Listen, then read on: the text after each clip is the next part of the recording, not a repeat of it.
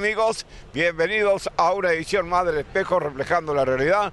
En esta oportunidad, a nuestras espaldas, Oscar Pachemoto, la moto de tus sueños, ahí con toda la publicidad, con toda la financiación. Así que ya sabes, la moto de tus sueños en Oscar Pachemoto que está a nuestras espaldas. Bueno, estamos aquí llevando una, nueva edición del Espejo Reflejando la Realidad, como es ya costumbre nosotros. Pero antes de explicarles y contarles, vamos a dedicarle este programa a todos los maestros, que ayer fue el Día del Maestro, a vos Santiago, a vos Federico, y ustedes son portadores del saludo de toda la comunidad santaluceña, a todos los maestros que hayan, espero que hayan pasado bien su día. Dicho esto, vamos a saludar a don Santiago. ¿Cómo estás, Santi? Muy bien, Carlos, gracias por el saludo. El día lunes 11 de septiembre fue el Día del Maestro, así que para todos ellos un saludo muy afectuoso. Estamos aquí, como decís, Carlos, a nuestras espaldas está Oscar Pachemoto, como siempre, remodelando y dando la moto de tus sueños. Vení y llevate la moto de tus sueños. Estamos en este programa hoy martes, un poco con fresco, la noche está fresca. Bueno, estamos muy contentos de estar en una edición más con todos ustedes. Muy bien, Dicho esto, todos los saludos, un saludo a todos los que nos ven, a toda la gente que siempre nos, pide que los saludemos. Vaya un saludo muy afectuoso, un abrazo a todos nuestros televidentes. Bueno, Santiago nos va a contar qué tenemos para esta noche, que en su lugar favorito usted esté y el espejo le trae lo siguiente. Bueno, en esta oportunidad, Carlos, vamos a tener lo que fue el acto Día del Maestro. La semana pasada, el viernes, se realizó el acto organizado por la, eh, la Dirección de Cultura y una institución también acá la Escuela 75 aquí de Santa Lucía. Vamos a tener también las imágenes de la ampliación, refacción del Hospital Juan Ramón Gómez, así que vamos a tener la palabra de Romina y el doctor Cabral hablando con nosotros. También vamos a, nos fuimos hasta la casa de Rubén Lago, candidato a intendente por el partido Movimiento Siempre Corriente, lista número 4. Vamos a hablar con él y hablamos también con Soto Pon, que va como candidato a concejal en primer término de ECO Más Cambiemos. Él explica un poquito su proyecto para que usted lo vote este 8 de octubre. Esto es lo que vamos a tener en esta edición del Espejo. Muy bien, ¿qué le parece? Un tirito interesante, ¿lo vemos? Seguimos en nuestra última parte, tenemos algo para contarles. Queremos saber, Santiago, este 8 de octubre, hay elecciones en corriente, el pueblo tiene que concurrir a las urnas, pero la mayoría de no sabemos qué elegimos. Contale a la audiencia para que vayan sabiendo y pensando qué se vota en corriente, por favor. Así es, y bueno, gracias Carlos por esta pregunta, y bueno, por ahí algunos no sabemos, no sabíamos nosotros también, nos informamos a través de los diarios digitales o otras formas también preguntando, bueno, este 8 de octubre, aquí la población de Corrientes tiene la oportunidad de elegir al próximo gobernador que el 10 de diciembre va a estar tomando su posesión en el sillón de Ferré y también va a estar eligiendo al próximo vicegobernador de la provincia de Corrientes.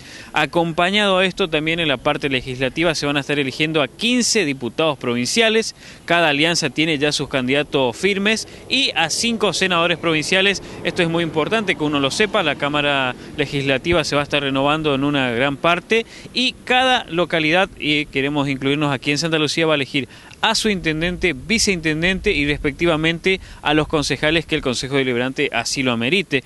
Pero también queremos recordar que hay dos localidades de la provincia de Corrientes que van a estar eligiendo a Defensoría del Pueblo. Así que es muy importante a veces saber estas cosas para cuando uno le pregunta qué se vota el 8 de octubre. Exactamente, el 8 de octubre votamos todo lo que nos acaba de explicar Santiago para que nos informemos, yo, usted, la comunidad, para cuando entre al cuarto oscuro sepa a quién elegir. Gracias. ¿Cómo están amigos? Bienvenidos a una edición más del Espejo, comenzando seguramente en su lugar favorito, nosotros aquí, en este lugar magnífico de nuestras espaldas, Oscar Pache Motos, donde está la moto de tus sueños. Vení, preguntá, financiación, cuotas rápidas, te puedes llevar tu moto el día de hoy. Bueno, en esta oportunidad algo muy importante, eh, la semana pasada, el viernes, se realizó el acto protocolar oficial por el Día del Maestro. Así es, Santiago, en la plaza que lleva el nombre, la Plaza del Maestro, de los maestros de nuestra querida localidad y de la región, ahí se llevó el acto principal el día viernes. Las cámaras del espejo estuvieron ahí y le traemos ese hermoso acto representativo del presente y el futuro. ¿Lo vemos? Buenos días. Invitamos a las autoridades a ocupar su sitio, por favor, al igual que...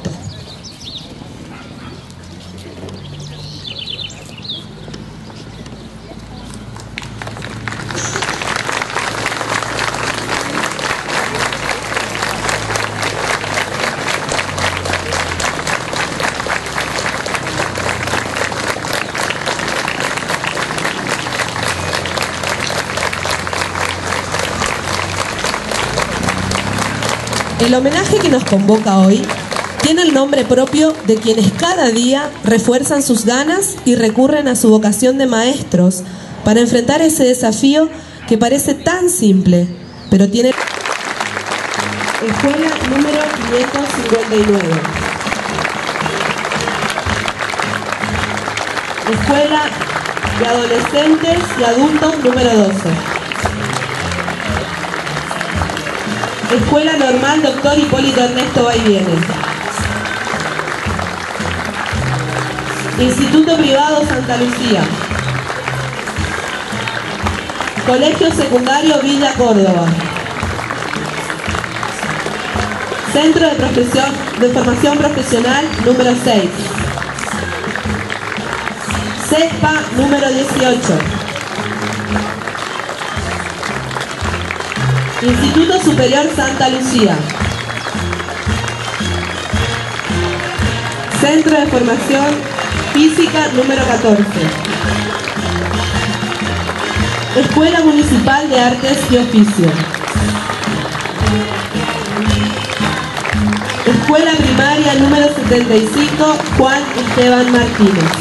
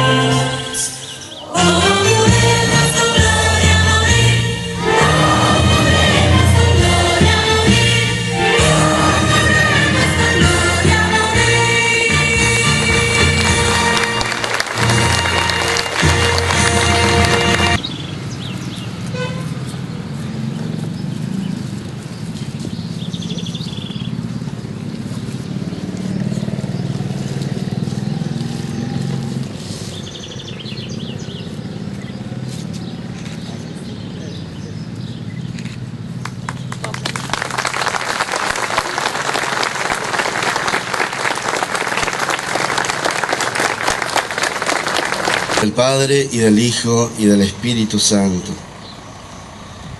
En este día demos gracias a Dios por el trabajo, el amor y la dedicación de nuestros maestros y pidamos por ellos que dan su vida a sus alumnos y dan vida también a nuestra comunidad para que renueven su corazón y puedan dar de nuevo las gracias a la vocación que Él les regaló. Con alegría recemos por ellos, implorándoles la bendición del Señor. Oremos.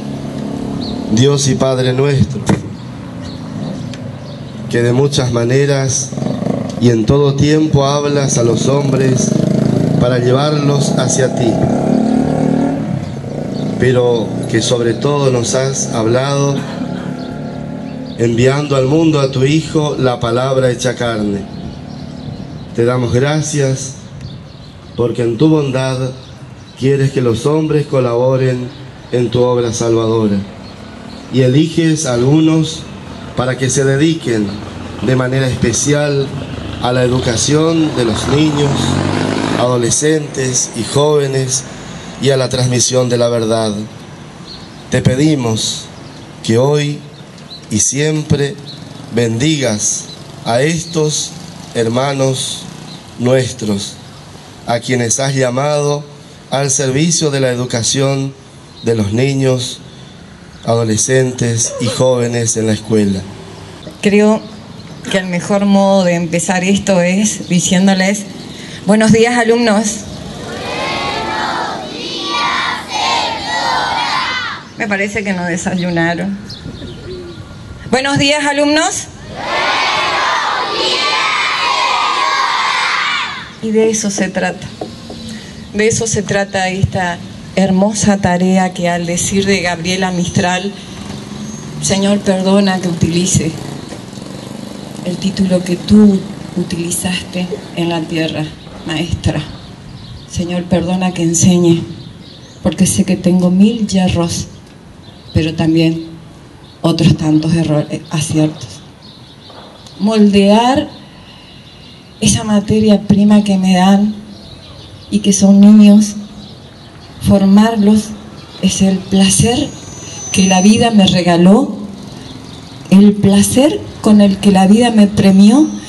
Y cuando la directora de la Escuela 75, la actual directora, me decía, Lidia, vas a tener a cargo las palabras en el acto, que por primera vez, y me parece buenísimo que estemos las jubiladas acá, todas las jubiladas, eh, por primera vez siento que estoy cerrando esta puerta y la puerta que cierra Kika, Susana, Ninfa, Belia y no está Muti, este grupito de docentes, es la misma puerta que otras tantas cerraron. Cuando Coco me decía, la directora, el tema será qué se siente ser maestro. Es un regalo de Dios porque tanto a los niños, a los jóvenes y a los adultos que he tenido en mi vida en el aula, les he dicho, sé que estoy en ustedes desde el momento en que me escucharon. Sé que estoy en ustedes desde el momento que aprendieron y se apropiaron de algo que en algún momento les va a servir en la vida. Sé que estoy en ustedes cuando puse límites que no se pasaban y que quizás les dolió, pero va a servir. De eso se trata ser maestro. El poder de la empatía y apropiarnos de él y no tomar a nuestros niños como, como números. Y en esta sí me dirijo a mis colegas y a mis autoridades.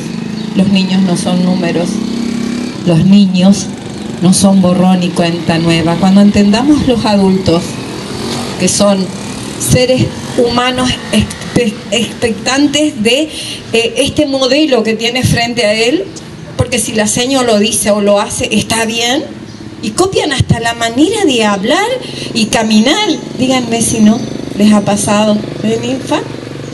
Cuando entendamos los adultos que el mundo que se viene estará dirigido por ellos y no son números huecos y los respetemos y dejemos hasta el último hálito de fuerza que tengamos por ellos en cada uno de los lugares que estemos, ese día vamos a estar haciendo bien las cosas. Ese día realmente estaremos ocupándonos de ellos. Si no, no. Si, son, si no son palabras sueltas. Entonces, ¿de qué se trata esto de ser maestro? es ser docente, entender que a partir del momento en que estamos frente al aula y que los problemas se quedan afuera y los celulares en los bolsillos o carteras, tenemos frente a nosotros un ser humano que nos necesita para enriquecerlo con nuestra sapiencia o no, pero sí con todo nuestro amor. Porque cuando aprendamos a amarlos, la mejor lección de vida y a futuro es el amor. Y con amor todo se puede, todo.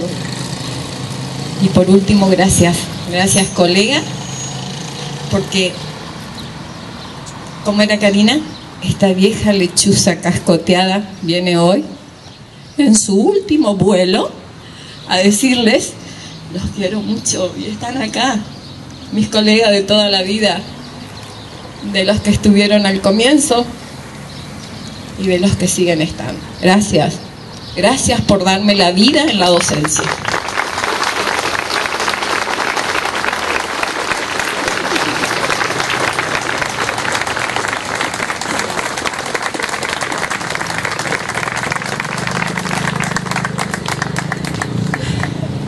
Siete letras que encierran tanto de quien aprendí mis primeras letras.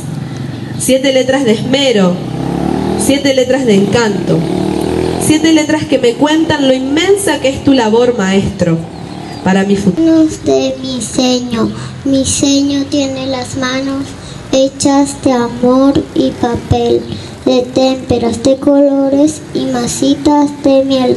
Ellas son las creadoras del mundo maravilloso de títeres, de princesas y príncipes amorosos. Sus manos guardan secretos de juegos y mis canciones. Sus caricias son las curas de golpes y de chinchones. Gracias, Señor, por tener esas manos creadoras que me enseñan a querer ser una mejor persona.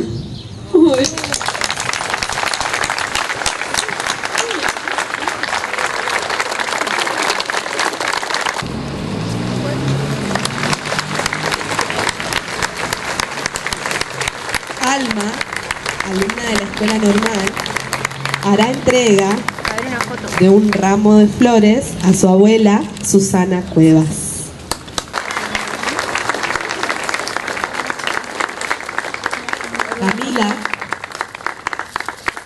Hija de la señora Beatriz Jaff.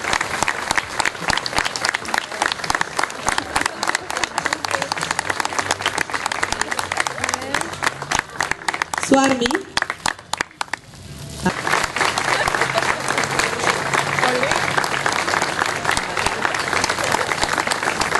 Y yo, docente, te voy a hacer una entrega de una ofrenda a mi mamá.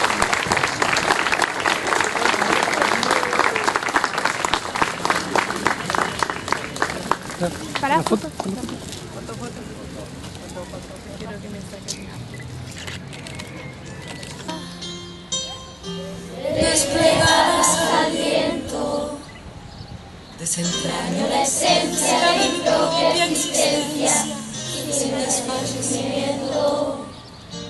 Y me digo que puedo, como en una constante. Y me muero del miedo, pero sigo adelante. Con las alas del alma entregadas al viento, porque aprecio la vida en su justa medida, al amor del y al vivir cada instante, y al gozar cada intento, sé que alcanzo lo grande con las alas del alma, desplegadas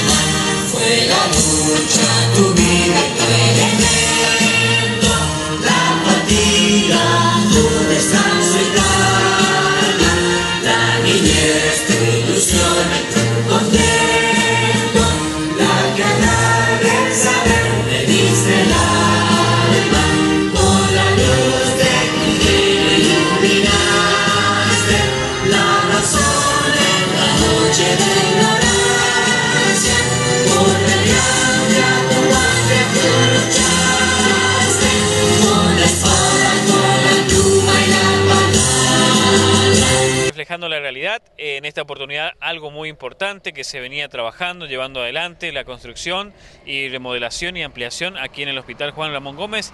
Gracias por el llamado, como siempre, muy atentos con las cámaras del espejo, con Carlos y quien les habla, y con Federico también el equipo, a Saúl que estuvo haciendo las filmaciones de, la, de lo que fue el acto de corte, corte de- de cinta, eh, lo que fue la oficialmente la inauguración de la refacción que se llevó a cabo aquí en Santa Lucía. Así es, Santiago, en nuestro querido hospital Ramón Gómez, bajo la dirección del doctor Luis Cabral y la directora asociada, doctora Romina Cabral, llevaron adelante desde el Ministerio de Salud una reforma muy buena del Hospital de Santa Lucía. De todas las veces que he ido a, actos del hospital, este es el que me ha llenado porque realmente se han hecho las cosas muy bien.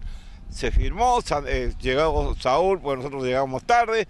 Al terminar el acto hablamos con los directores del hospital, el doctor Luis Cabral, la doctora Romina Cabral, explicaron, contaron y dijeron esto para el espejo reflejando la realidad. y ampliación del Hospital Dr. Juan Ramón Gómez de esta ciudad de Santa Lucía. Obras realizadas por el INVICO. Se encuentran presentes el señor gobernador de la provincia, doctor Horacio Ricardo Colombi, señor presidente de la Cámara de Diputados, doctor Rodrigo Casano, señores legisladores provinciales, señor ministro de Salud Pública, doctor Ricardo Cardoso, señores secretarios y subsecretarios provinciales, señores interventor, señor interventor y subinterventor del INVICO, señor director del hospital, doctor Luis Oscar Cabral, señores concejales, intendentes de localidades vecinas, señores profesionales de la salud, personal de este hospital. A continuación, En el nombre del Padre y del Hijo y del Espíritu Santo. Queridos hermanos, que la gracia y la paz del Señor, que encomendó a sus discípulos que atendieran a los enfermos y les proporcionaran alivio, esté con cada uno de ustedes.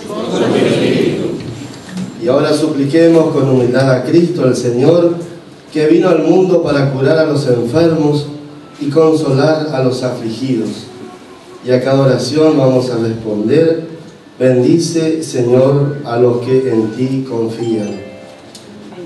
Bendice Señor a los que en ti confían. Tú que viniste a curar a los enfermos y sanar los corazones afligidos, toma posesión de esta casa destinada al cuidado de los enfermos. Oremos. Bendice Señor a los que en ti confían.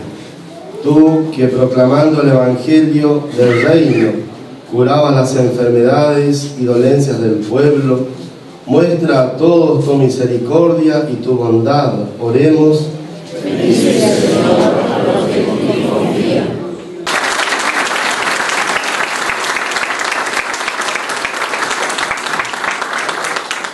a todos, pueblo, autoridades. Debo agradecer la presencia del señor gobernador de la provincia y del señor ministro de Salud Pública, que mediante lo mismo hemos llegado a esta inauguración del primer tramo del Hospital Juan Ramón Gómez, quien ha sido pionero de la salud en la zona en los años 40 y durante toda su vida Tampoco pudo, puedo dejar de mencionar a los médicos que han pasado y dado sus mejores momentos en pos del hospital, como ser el doctor Durante, el doctor Moreira, el doctor Dacunda, el doctor Juan Ramón Erdoy.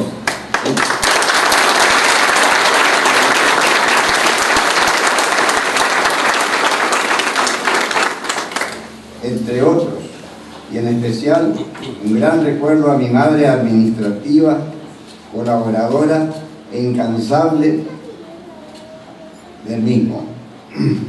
A todos los enfermeros y enfermeras que han puesto su vida al servicio de este nosocomio. No doy nombre por temor a olvidarme de alguien, pero a todos ellos mi gran reconocimiento y admiración, pues han sido mis compañeros de trabajo de muchos años y han hecho en este hospital, de este hospital, toda una institución propia y a todo el personal que hoy me acompaña y los invito a no escatimar esfuerzo en bien de nuestro hospital. Además, agradezco a mi gran colaboradora y ayudora, mi hija María Romina,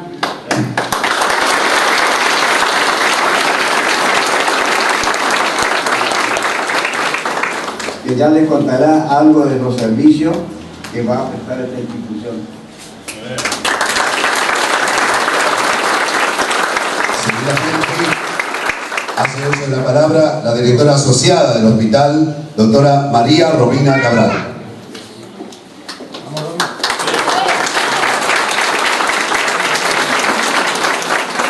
Señor Gobernador de la provincia, doctor Ricardo Colombi, señor Ministro de Salud, autoridades provinciales, autoridades locales, pueblo de Santa Lucía. Estoy más que feliz y agradecida a todo lo que han puesto en este hospital, a todos los que han hecho posible que nuestro hospital siga creciendo día a día y no como lo dicen en la calle y por todos lados. El hospital cuenta con muchos beneficios para toda la comunidad. Tenemos el programa Incluir Salud para Todos, tenemos el programa de la tarjeta Ambareté, tenemos el plan asistencial a celíacos, tenemos el plan de agua potable en cada hogar, un requerimiento indispensable para todos los correntinos. Y es más, estuvimos ayudando y apoyando a todos los inundados, a todos los que sufrieron esa gran catástrofe en la comunidad y estuvimos al lado de ellos constantemente. Eh, personalmente quiero agradecer a todos los que hicieron posible que yo esté ocupando este lugar en este momento, a todos los que me bancaron en cierta forma para poder seguir acá y continuar. Y quiero decirles que no voy a bajar los brazos y que voy a seguir haciendo todo lo posible.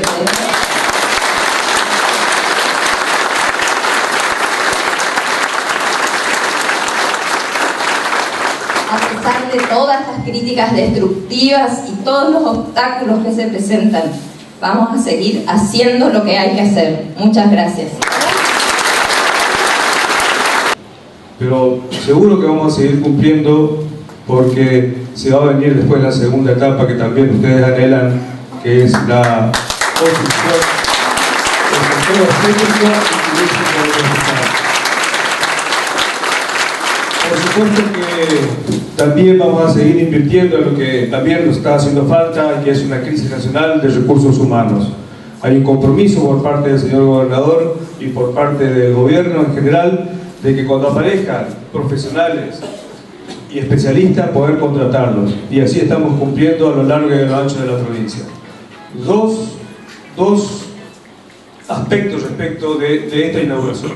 Por un lado la idea es mejorar lo edilicio para que los profesionales y además personal que trabajan acá tengan un ambiente adecuado para poder trabajar y para también para que ustedes los ciudadanos de Santa Lucía tengan también un, un, lugar apto para que sean contenidos desde el punto de vista de la salud. Ese es un aspecto. El otro aspecto es la otra política del Ministerio de Salud Pública de tratar de descentralizar la salud de la provincia, de manera tal de que ustedes puedan tener las respuestas de salud en su lugar de origen. Que estas ambulancias que por ahí uno las ve y por suerte cada vez menos trasladando y derivando pacientes a la capital sean cada vez menos ustedes tengan la respuesta y esa es acá en, la misma Santa Lucía y ese es el compromiso del gobierno. Una vez que esto se termine y se concluya todo el relevamiento que hay que hacer, vamos a avanzar con lo que necesita, que es, lo dijo el ministro, todo lo que tiene que ver con obstetricia y todo lo que tiene que ver con la parte quirúrgica. Vamos a invertir pero lo vamos a hacer con seriedad, con responsabilidad, no desde el punto de vista demagógico. No lo vamos a hacer pensando en que hay dos o tres loquitos que salen a, a quejarse por quejarse y cuando no conocen la realidad. Lo vamos a hacer porque tenemos un plan, tenemos una planificación en política de salud. Y no hacemos las cosas por hacerlas, no hacemos las cosas descolgadas. Esto es planificación. Hoy hay un plan de salud en la provincia. Con recursos humanos disponibles, con infraestructura, con programa de salud, como se dijo aquí. Por eso, todos los componentes, todos los actores de la salud tienen un rol muy importante. Cuando hablamos de los componentes de la salud, hablamos desde la conducción, desde la administración, desde los profesionales, desde los enfermeros, desde los administrativos y, y de los que conducen las ambulancias. A buen entendedor, poca palabra. Y de los que conducen, porque lamentablemente tenemos el descuido, la falta de negligencia en esta cuestión que es esencial. Y no es porque no haya ambulancia, sino que algunos nos cuidan. Entonces, hoy aquí inaugurar esto es muy importante para la comunidad de Santa Lucía. Y vamos a invertir lo que sea necesario. Si es 10 millones de pesos, vamos a invertir 10 millones. Si es 15, vamos a invertir 15. Si es 20, vamos a invertir 20.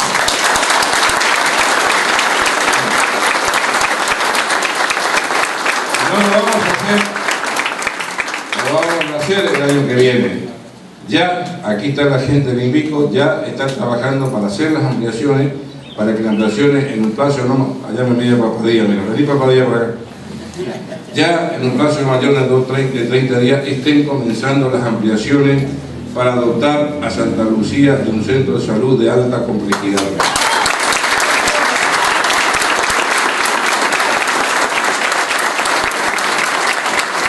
Pero también vamos a necesitar el acompañamiento de la comunidad.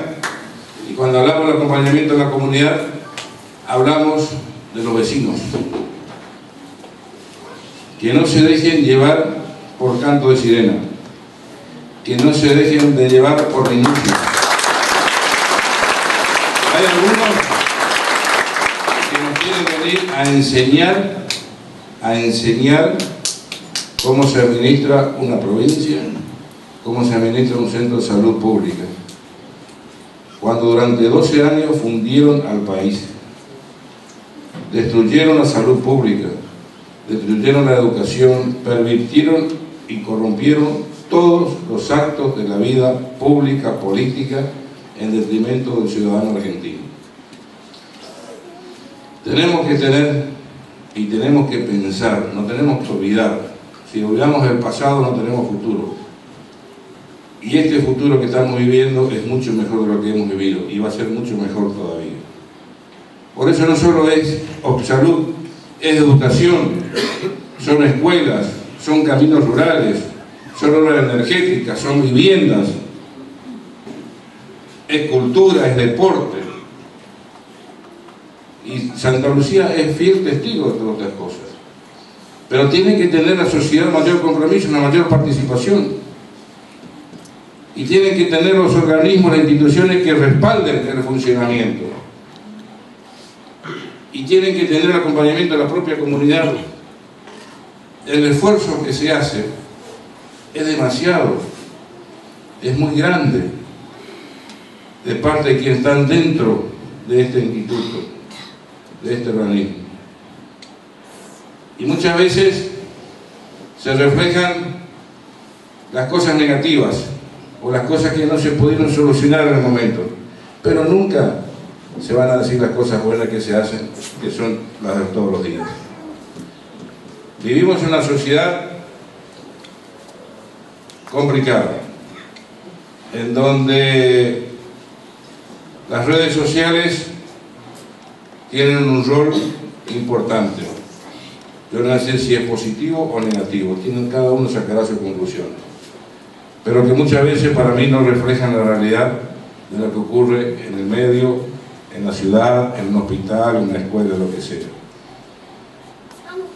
Así que yo quiero felicitar y respaldar a todos los que están aquí dentro de este hospital. Desde el director, pasando por la directora asociada, por los administrativos, por los enfermeros, por los profesionales, a todos.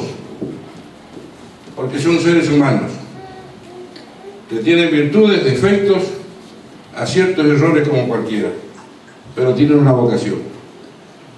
La persona que tiene vocación, como el docente, como policía, tiene que ser respetado. Y nosotros respetamos y apoyamos y aprobamos la tarea que cada uno de los hombres y mujeres que están dentro de la salud pública corriente llevan adelante. Felicitaciones. Las cámaras al espejo reflejando la realidad. Hoy un día muy especial para la comunidad santaluceña, para nuestro querido hospital Juan Ramón Gómez. Estamos con el director del hospital, el doctor Luis Cabral, la directora adjunta, la doctora Romina Cabral, asociada, la doctora Romina Cabral. Felicitaciones, vamos a empezar por las damas, querido doctor.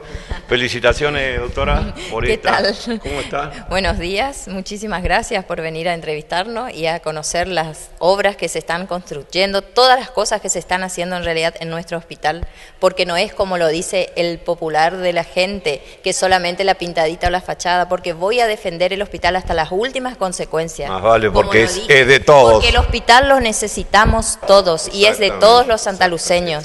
Exactamente. Muy bien, Romina. Lo mismo pienso yo. ¿eh? Doctor, felicitaciones también. Seguramente, doctor, debe ser un orgullo, más allá de lo institucional, como, como hombre de este hospital, ¿no? Como uno, porque es, como la familia, ¿no es cierto? Para mí es un orgullo que me, que me acompañe Romina, porque prácticamente me allana casi todos los, los problemas Los que caminos. tenemos, todos los caminos. Acá lo único que hacemos tener este respeto por la gente, honorabilidad y hacer las cosas como se tienen que hacer. Nada más, no hay otra cosa del otro mundo.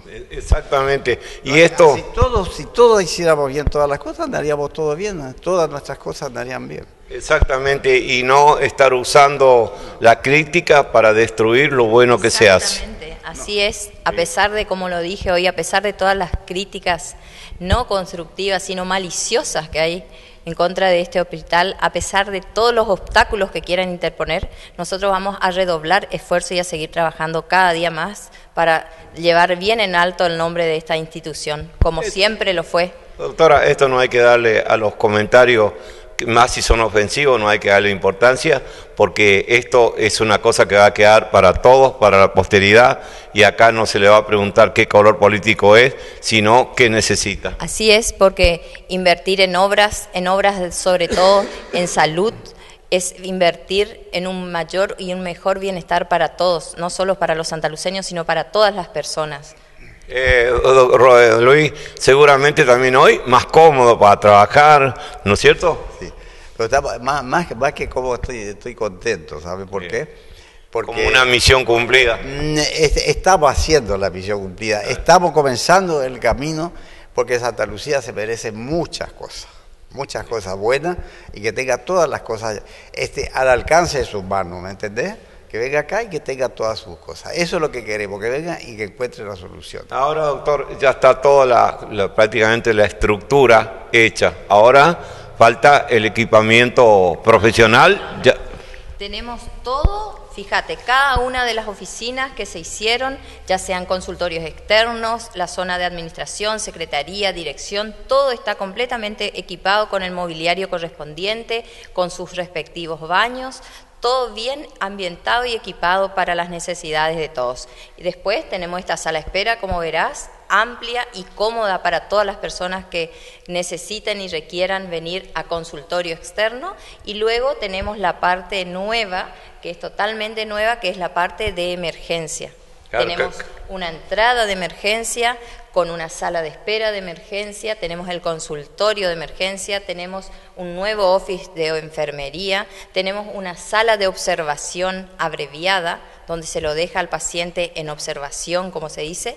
Tenemos la nueva entrada de ambulancia con la sala de higienización para el paciente, por ejemplo, que venga traumatizado de un accidente o algo por el estilo, te quiero decir, Una se lo emergencia. una emergencia, se lo higieniza y luego tenemos el shock room totalmente equipado, que no sé si lo habrán podido ver, que tenemos eh, todo en perfecto estado con el parro de caro, con todo lo que se necesita con un monitor multiparamétrico, con cardiodefibrilador, electrocardiógrafo, tensiómetro, mide la presión, la, temperatura, todo de la persona que entra en estado crítico. Digamos que es como una emergencia, un shock room, donde se le dan los primeros cuidados de emergencia al paciente.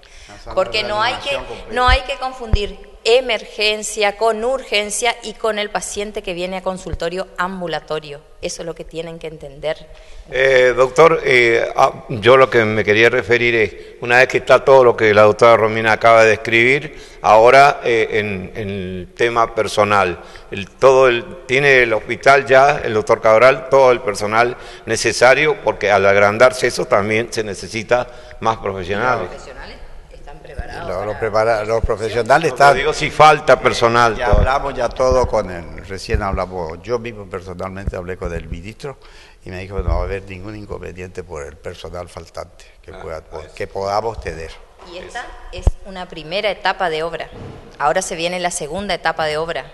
Se viene el quirófano, el tan anhelado quirófano, la sala de parto y la sala de internación privada que eh, nos dijo el gobernador que aproximadamente en la semana del 20, el 20 y pico de septiembre, 26 de septiembre, estaría viniendo acá para concretar ya todo eh, cuando se va a comenzar a ejecutar la obra. Todo planificado. No a posterior, sino ya en 30 días se va a comenzar. En 30 días ya tienen que estar viendo eh, va a pasar entonces el Hospital Juan Ramón Gómez a ser uno de los hospitales referentes de la zona, sacando el hospital de Goya, ¿no? que es el hospital, de cabecera. De cabecera, el hospital regional, el hospital zonal de Goya.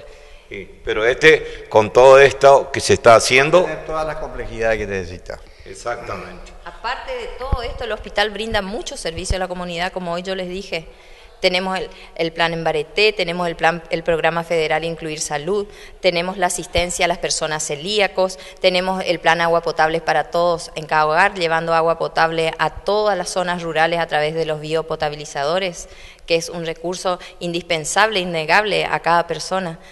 Tuvimos toda, durante todas las inundaciones trabajando al lado y asistiendo a cada uno, porque usted es testigo, a cada uno de los individuos, los compoblanos que necesitaron. Así que, ¿qué más pueden salir a hablar en detrimento? Tenemos los agentes sanitarios que recorren día a día todos los barrios de nuestro, todos los días tenemos operativos se van, le controlan, le hacen el control de los signos vitales, capaz ese paciente necesita que se le tome la atención arterial, no puede venir hasta, hasta el hospital, se le lleva ese servicio, se le lleva el medicamento, si no puede venir se lo traslada en la ambulancia. ¿Entendés? Son muchos los servicios que brinda el hospital. Se está trabajando como corresponde. Se está trabajando como, como corresponde y el hospital es de todos. Todos tenemos que colaborar. Como siempre lo dije, el hospital es una institución de puertas abiertas, abiertas al diálogo y al trabajo en conjunto. Invertir en salud es invertir en el bien de todos. Así que por eso, invertir en el futuro. Invertir en el futuro. Por eso ese fue el compromiso de hoy del señor gobernador de seguir invirtiendo en este hospital para dejarlo bien en alto como institución. Eh, eso sí, eso es lo que yo eh, siempre destaco y siempre soy uno que por los medios, lo poco que uno sabe, de defender el hospital, porque todos esos que critican el hospital, cuando algo les pasa, vienen, al hospital. Exactamente, esos que critican por todos lados el hospital, cuando necesitan del hospital, se acuerdan de dónde está el hospital. exactamente, Porque pero... El hospital es servicio a la comunidad. Exactamente. Por eso yo quiero, Romina, que no esté enojada, que con los hechos se demuestra lo que es. Día a día le vamos demostrando con trabajo. Exactamente. Eh, nosotros como santaluceños, yo como paciente de este hospital que más de una vez me sacaron del sobre todo de madera, tengo un agradecimiento y seguramente la comunidad, toda la comunidad, y más ustedes, porque la familia Cabral representa a Santa Lucía en la palabra salud, más mi querido amigo y médico personal, que me, el que me hace firmar el certificado de función, el doctor Luis Cabral. Luisito. este hospital, sin, sin quererlo o queriéndolo, es nuestro segundo hogar, porque yo, de que tengo uso de razón, me crié en el hospital, me crié y me malcrié. Mi abuela, una administradora Eso intachable, intachable, excelente, que la, todo el pueblo la, la debe se debe acordar en la época de la señora Luisa lo que era el Hospital Santa Lucía. Después estuve junto a mi padre y sigo estando. Estuve junto a mi hermano, también un excelente profesional. Así que nosotros, más que nosotros al servicio de la salud y al servicio de la ciudadanía, no, no sé qué te puedo. Por eso yo siempre lo destaco. Y Luisito, sin entrar por ahí a uno que le toca los sentimientos, qué buen momento para recordar a doña Luisa, que yo tuve la oportunidad de ser muy amiga de ella, inclusive alguna vez lo retó a Luis delante mío, que después le dio la razón. Eh, Luisito, la recordarla a ella, ¿no? Como, como el pilar fundamental de usted, de Luis y después de sus nietos, ¿no? Sí, sí. Bueno, Luisito, no, quiero, discúlpame, no quiero emocionarte porque también yo me emociono. Así es. Eh, Romina, creo Pero que... las cosas buenas están para recordarlas y para imitarlas exactamente. y para imitarlas Para también. imitarla. Eh, nosotros te queremos felicitar y felicitarlo a, a nuestro querido Luisito y que ojalá el Hospital de Santa Lucía siga siendo el lugar de la salud de la comunidad. Así será, no cabe ninguna duda. Y hoy lo dijo nuevamente el gobernador. Por lo menos nosotros vamos a poner todo el empeño posible personal para que así sea. Felicitaciones Luis y prácticamente se te- tendría que llamarse Luis Cabral. Bueno, Como lo dice el eslogan, estamos haciendo lo que hay que hacer. Exacto, lo que corresponde. Lo que corresponde. Lo que corresponde.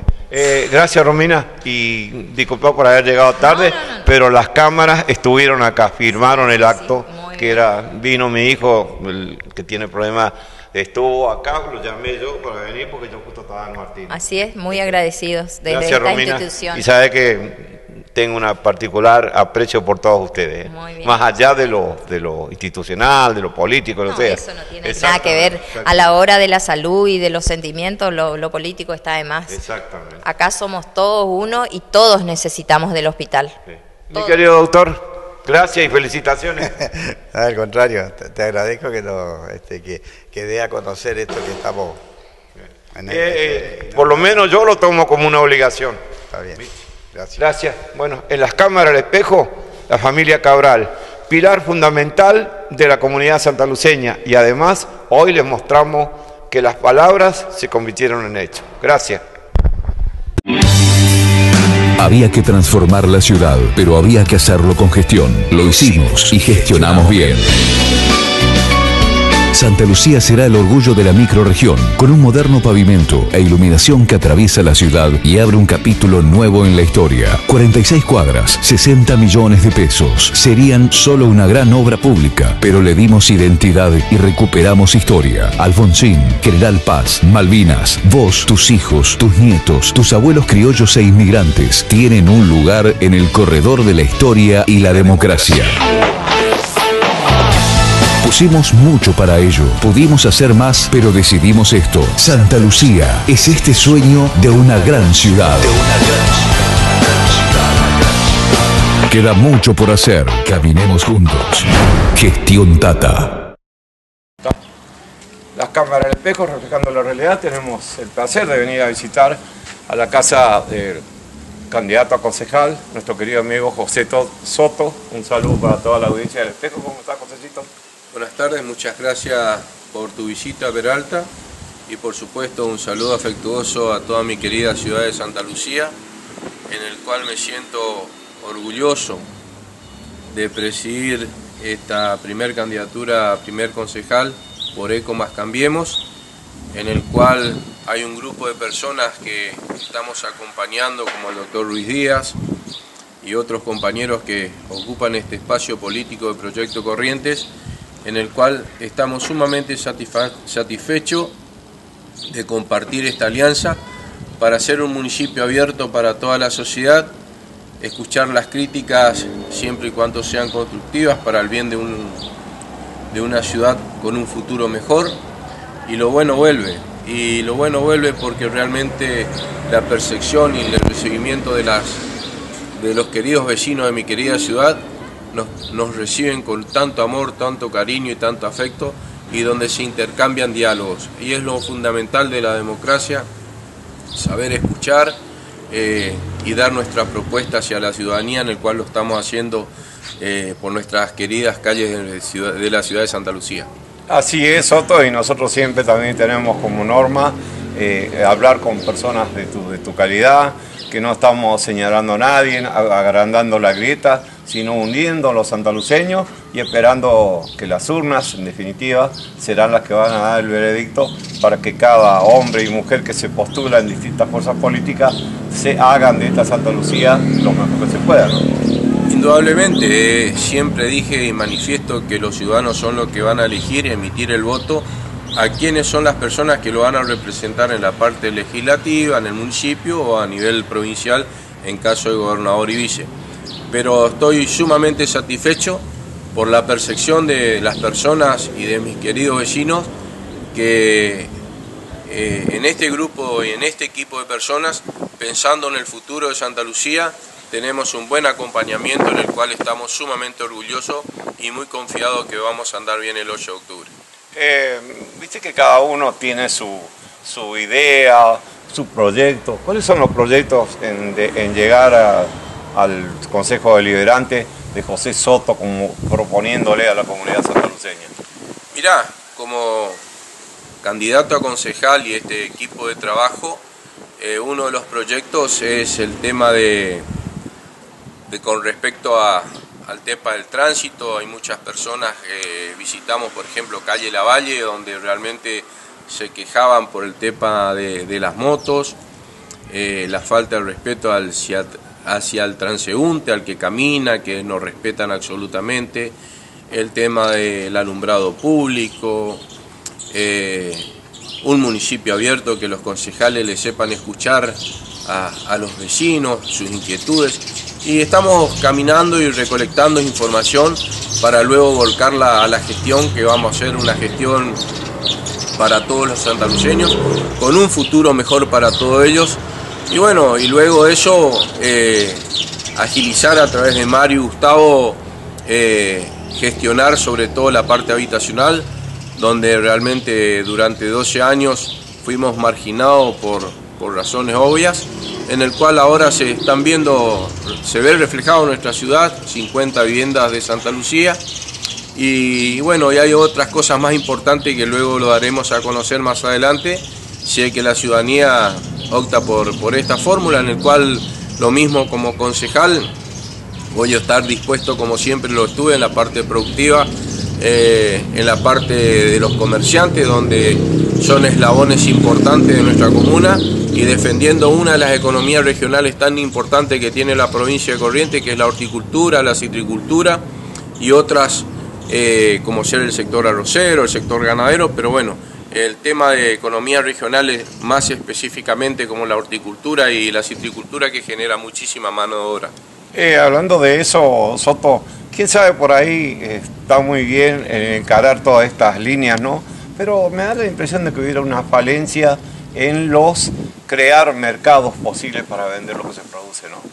Eh, con respecto al tomate, se, recaemos todo el mercado interno, no se puede exportar salvo caso a Brasil, eh, que en años anteriores se hicieron, en el año 90 y pico, ahora también en, estos años se exportaron algunas veces y ahora se está importando a veces con estos precios, pero los productores hortícolas con primera medida no somos fijadores de precios, esto es oferta y demanda y las personas que trabajamos en el campo nos exponemos a las ofertas y demanda en el caso específico de, la horticultura y la citricultura.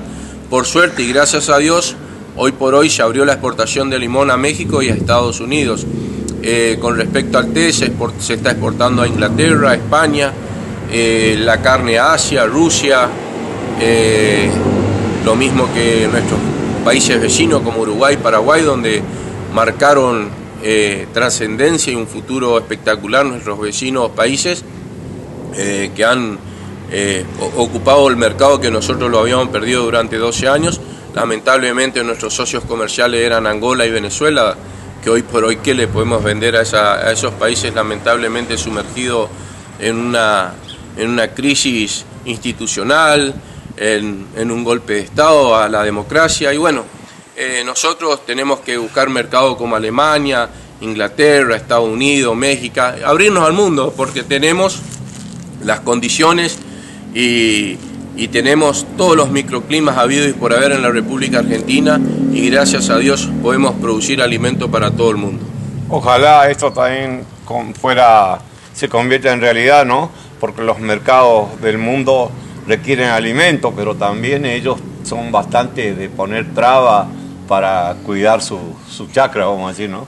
No, ahora te puedo decir lo contrario. eh, se está, te estoy comentando, se está exportando limón a México, a Estados Unidos, la carne a Asia, Rusia, eh, parte de Alemania y un poquito a España. O sea, el mercado se está abriendo, estamos buscando mercado y eso es lo importante que ya se abrió las exportaciones al mundo y, por suerte cada día se va incrementando más y hoy por hoy eh, hay un futuro lindo para la Argentina. Eh, eso sí se da, vamos, tendríamos que estar en un lugar privilegiado ya que tenemos, somos uno de los mejores productores de alimentos prácticamente en toda América, ¿no? Se está dando, se está dando, la circunstancia y la situación se está dando. Lo que nos está ayudando es que lamentablemente muchas provincias, eh, como La Pampa, personal, eh, específicamente La Pampa, la provincia de Buenos Aires, parte de Santa, Santa Fe, Fe, Rosario, Córdoba. están muchas, Córdoba, están muchas provincias inundadas, anegadas por el agua y están teniendo, eh, están sufriendo las consecuencias del tema del trigo, el maíz, la soja, la parte ganadera. Pero bueno, hoy por hoy ingresaron al mercado Liniers eh, 300 cabezas, donde suelen ingresar 2.000, 2.500 cabezas el día lunes, y ahí se va incrementando la cantidad de cabezas que entra al Linier, pero bueno, son circunstancias que el productor, lamentablemente, por obras que no se han hecho durante muchos años, hoy se están realizando y lamentablemente a veces no se puede con Yara, como dice en guaraní, no se puede con Dios y con el clima tampoco. Así que bueno, esas son las consecuencias que sufre el productor a lo largo y a lo ancho de la República Argentina. Sí, y este problema climático también es del mundo. Fíjate vos esto, el terremoto en México, el huracán. Irma. que- Irma, ¿eh? Bastante mala había sido la Mala. Irma esta, ¿no? Y Efectivamente. bueno, ya se ha desvanecido prácticamente, se está convirtiendo en una tormenta tropical. Bueno, esas son condiciones, como decís vos, que solamente Dios sabe. Soto, en nombre de nuestro programa El Espejo de Radio Ciudad, te deseamos el mayor de los éxitos en lo personal, en lo político, en, el- en lo laburante, que eso es un hombre que le apuesta al trabajo. Y bueno, estamos a tu entera disposición y eh, un saludo para toda la comunidad y ofertarle tu propuesta. Y bueno, simplemente agradecerte a vos por venir a mi domicilio. En nombre de este equipo de personas, un futuro mejor para mi querida ciudad de Santa Lucía, sin diferencias, sin diferencia de clases sociales ni de ideologías políticas. Eh, acá somos todos argentinos y tenemos que pregonar, pregonar que la Argentina le vaya bien, indudablemente a nuestra querida ciudad de Santa Lucía. Así que en nombre de Eco Más Cambiemos y de esta persona en representación de Proyecto Corriente junto al doctor Ruiz Díaz, agradecerle infinitamente por el afecto, el cariño que nos reciben día a día por su casa, por sus domicilios, así que bueno, simplemente gracias, muchas gracias por ese amor, ese cariño y ese afecto y por la fuerza que nos dan para seguir caminando y poder compartir un diálogo fluido entre el vecino y los candidatos. Gracias, José Soto. Que tengan ustedes muy buenas tardes, muchas gracias. Muy bien, continuamos en lo político, seguimos entrevistando a candidatos a intendente, a concejal, la política está en auge en estos días. Visitamos la casa del señor Rubén Lago. Santiago les cuenta qué hablamos, de qué se trató la entrevista. Santiago.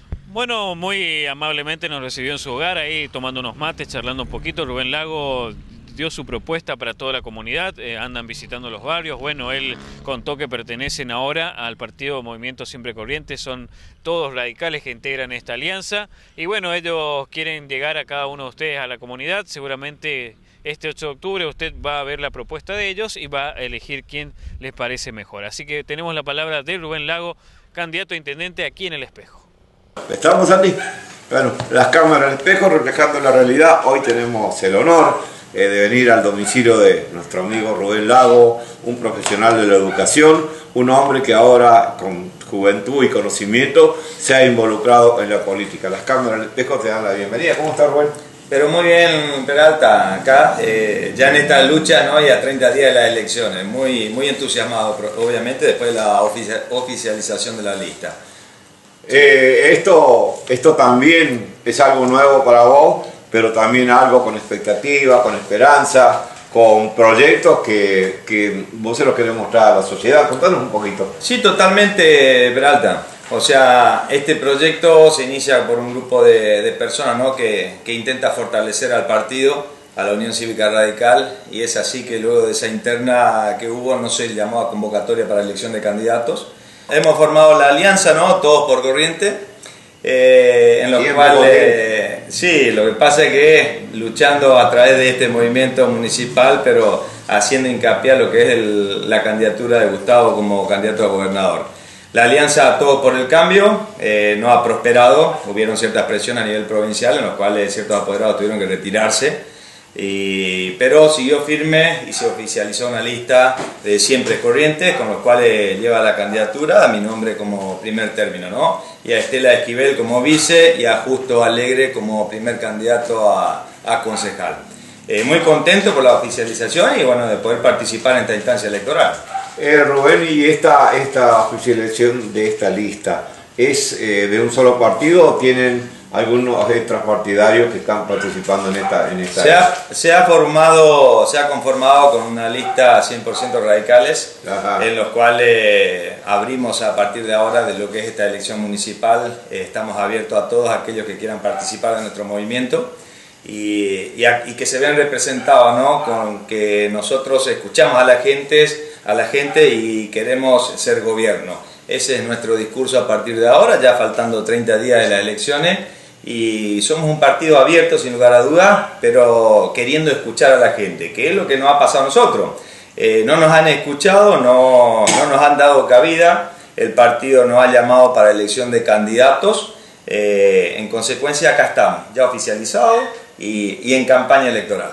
Eh, en, en, este, entonces, en este sentido, ustedes están convocando a todos aquellos radicales que no se han sentido representados por las otras líneas, que acá tiene una línea 100% radical, con el, con el postulado y el legado del Partido Radical, llevándolo adelante y proponiéndole a la comunidad de Santa Luceña.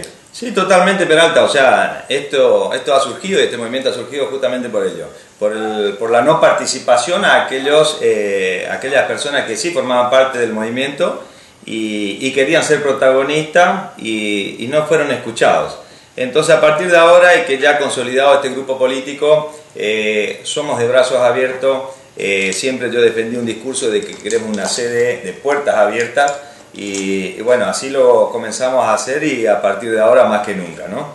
El acompañamiento de la gente, ¿cómo lo vas visualizando a 30 días de las elecciones? Eh, tenés distintos contactos, inclusive algunas fuerzas políticas por ahí también te dicen te vamos a acompañar aunque no estén en la alianza, ¿no? Sí, totalmente de Peralta. Lo único que son muy cautos eh, a la hora de manifestarse porque por razones obvias. exactamente, esas razones obvias en las cuales se sienten un poco intimidados, ¿no? Más aún si poseen un cargo dentro de la administración pública. Eh, pero sí, el, el afecto de la gente y el acompañamiento que estamos recibiendo es mucho. Eh, realmente nos ofrecen eh, esta, esta oportunidad de que nosotros seamos partícipes y, nos alientan a hacerlo. Así que confiamos en ellos y ellos mismos también nos transmiten la confianza hacia nuestras personas. Tú, la propuesta de ustedes, ¿cuál es la, lo, las falencias o las necesidades que vos ves que tiene Santa Lucía en, en, llegar a ser gobierno? ¿Cuáles serían los puntos neurálgicos que tendrían que tocar de inmediato? Y en primer término, acá lo que es eh, infraestructura, eh, hay cuestiones que la debemos rever, digamos, eh, si bien se han hecho obras, yo creo que se podrían haber hecho muchísimas más. Y bueno, focalizar sobre el urbanismo, existen muchas zonas aledañas y zonas periféricas de lo que es la ciudad de Santa Lucía, en las cuales sabemos que faltaba el tema de cloaca, el tema de agua potable, el tema de iluminación, eh, y no solo eso, la gran demanda de la ciudadanía santaluceña en lo que es el asfalto. Eh, acá se han hecho avenidas, las, conocemos, es un gran mérito y gestión de Tata, pero creo que nosotros si llegamos eh, podremos aún mejorarla, ¿no? Y vamos, vamos a, tratar de, hablar con toda la ciudadanía, de levantar esos, las demandas que ellos poseen en cada uno de los sectores, porque sabemos que la demanda de la ciudadanía santaluceña no es la misma en cada parte o en cada sector o en cada barrio. Las necesidades son diferentes y a partir de allí, bueno, trabajaremos sobre proyectos diferentes, obviamente, atendiendo las demandas de esta, de esta ciudadanía, ¿no? Y eso también es bueno lo que está diciendo Rubén, porque eh, reconoce que se han hecho cosas bien y lo que falta es una continuidad a lo mejor más ágil o con, o con distinto enfoque, pero la continuidad de las cosas bien es una, una bandera muy buena de agitar, ¿no? en una gestión. Sí, efectivamente, eh, el tema de continuidad es nuestro relato también de campaña porque nosotros no venimos a destituir a nadie. Nosotros venimos a dar continuidad a una gestión de gobierno en los cuales una persona que ingresa al municipio sabemos que es eh, una persona administrativa y lo que debe hacer es administrar los recursos que brinda el Estado y los recursos propios municipales jurisdiccionales y bueno, tratar de satisfacer las necesidades que demanda la ciudadanía y en este caso la ciudadanía de Santa Luceña. Eh, ¿Cómo está el Partido Radical a nivel provincial? ¿Está dividido como está dividido a nivel nacional o es una, una opinión errónea? No, no, eh, está dividido. ¿no? Eh, este, la fractura que también recibió lo que es la Unión Cívica Radical como partido eh, no lo sufrimos nosotros acá a nivel local. se ha hecho extensivo desde lo nacional eh, provincial y bueno, acá nosotros también hemos tenido consecuencia y, fíjense la consecuencia que me lleva a mí como candidato a intendente eh, en esta oportunidad. Bueno, pero no es una mala consecuencia, de último, es una buena consecuencia porque eh, se está haciendo la verdadera renovación que por ahí muchos declaman y no la hacen porque al haber gente nueva, gente con sangre joven, con proyectos a lo mejor más ambiciosos que los que se han venido gestionando hasta ahora, le da ese plus de la renovación que a veces se habla y no se hace, ¿no? Sí, efectivamente. Eh, yo acá eh, he escuchado de los dos candidatos contrincantes, a Tata Sanane, a Mario Cordero, lo he escuchado hablar de renovación. Y creo que si hablamos de renovación y ellos mismos son candidatos, eh, no entiendo tal renovación o a qué renovación se refieren. Nosotros ofrecemos una lista completa de personas nuevas eh, en los cuales tenemos muchas ansias de administrar y de gestionar y, realmente tratar de satisfacer necesidades de esta ciudadanía. Eh, nosotros queremos realmente eh, cambiar una forma de hacer política también, ¿no? de no perpetuarse en el poder. de tal, en tal caso, yo ya asumo este compromiso con la ciudadanía santatuceña que de llegar a la intendencia eh, mi periodo de mandato será solamente de uno. No voy a aspirar a tener un segundo periodo a pesar de que te posibilite la carta orgánica. Lo que yo voy a, voy a proseguir es a formar una escuela de política eh, en las cuales eh, la ciudadanía pueda participar libremente, pero también que tenga su propia ideología, no, no circunscribirlo a un cierto partido o lineamiento político, sino más bien abrir ese pensamiento y que realmente pueda la ciudadanía expresarse ¿no? en, toda, en todas sus dimensiones.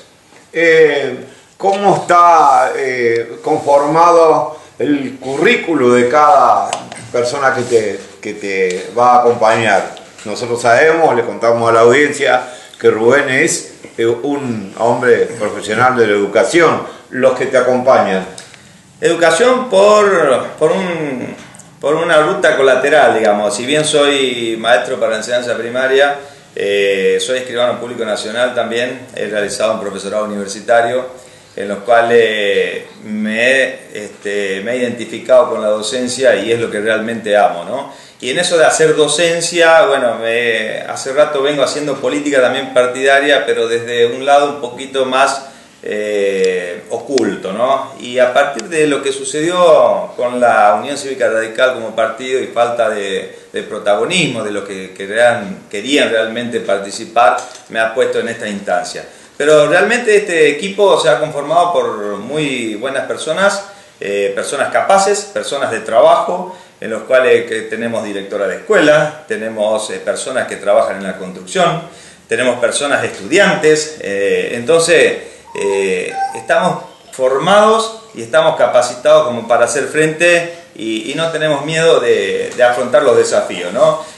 A mí me habían planteado que yo no hubiera sido intendente, candidato a intendente en primera instancia, sino que primero tenía que ser concejal.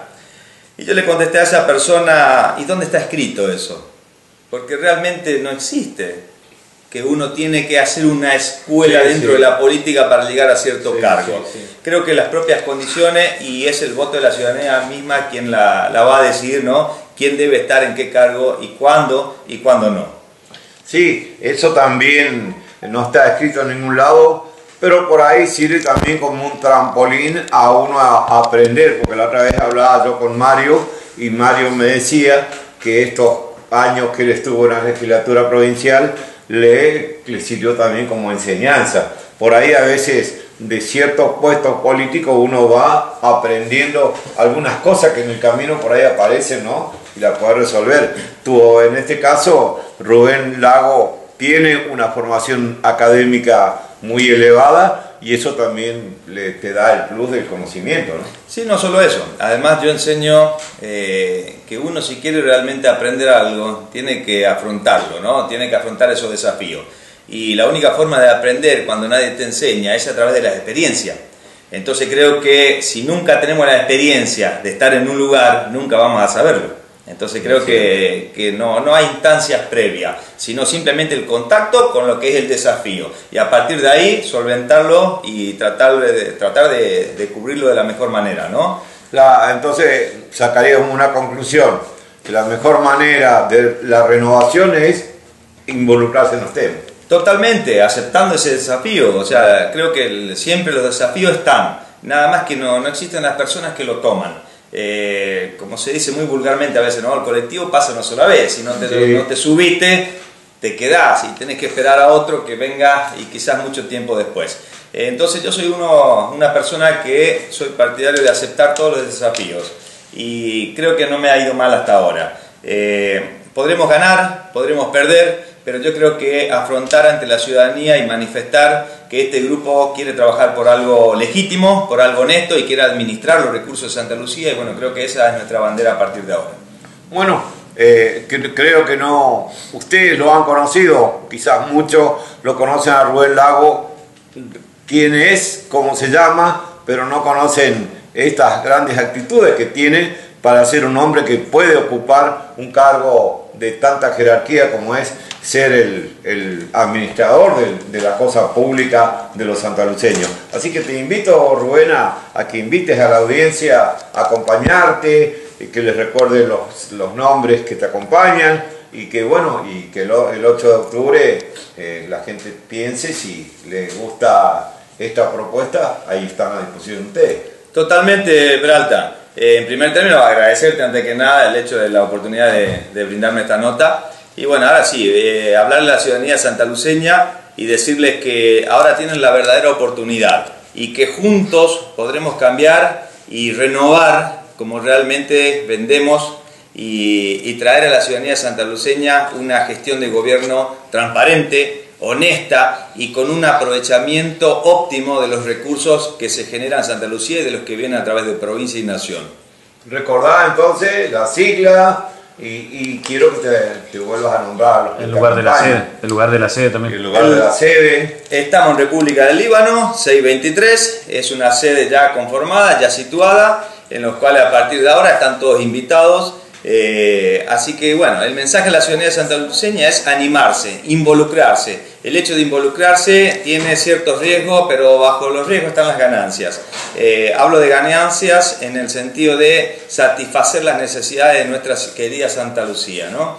Eh, obviamente me acompañará en esta instancia electoral Estela Esquivel y Justo Alegre como candidato a primer concejal, Mónica Acevedo como candidato a segundo y, y muchas personas más que conforman este equipo de trabajo. Invitar a la ciudadanía a que se involucre y que realmente si escucha un recurso, eh, perdón, si escucha una versión de lo que es un, una renovación, bueno, nosotros somos la verdadera renovación y los invitamos a que realmente se forme, eh, forme parte de este movimiento y que nos acompañe en esta contienda para el 8 de octubre. Muy bien, ha sido para todos los televidentes del espejo el señor Rubén Lago, candidato a intendente por la fracción política que él acaba de exponer. Gracias Rubén. Gracias a vos y bueno, un saludo a todos los santaluceños. Muy bien, ¿les gustó? Hemos llegado al final. Si Dios lo permite, la próxima semana estaremos con ustedes Por mi parte, que tengan una buena semana y la próxima estaremos con ustedes. Santiago. Así es, Carlos, volveremos el próximo martes en nuestra edición central. Gracias a cada uno de ustedes por compartir lo que es el espejo. Hace nueve años ya estamos llegando a sus hogares en Villacoro, la estación y Santa Lucía. Y queremos mandar también un saludo muy especial para Noche de Noticias, para la señora Catalina y la señora Cookie Barrios, ahí que ellos trabajan arduamente para llevar la información los días miércoles, colegas de televisión, así que para ellos también eh, saludo muy especial de parte del espejo, el equipo del espejo. Así es, un saludo para los dos y mucho éxito en esta nueva tarea que han emprendido para toda la televisión santaluceña. Hasta la próxima.